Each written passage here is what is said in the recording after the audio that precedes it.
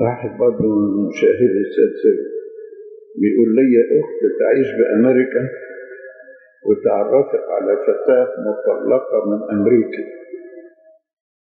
تريد أن تتزوج من شاب مصري ورشحتني أختي له. فهل يصح أن أتزوج من مطلقة؟ لازم تشوف المطلقة دي مذهبها إيه أولا؟ وثانيا طلقت لأي سبب. إن كانت طلقت بسبب الزنا يبقى لا يصح الزواج بها وإن كانت طلقت لأنها مناكفة يبقى أنت حر بقى.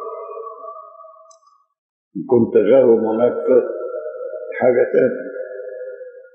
وأختك يعني ما لقيتلكش غير النوع ده.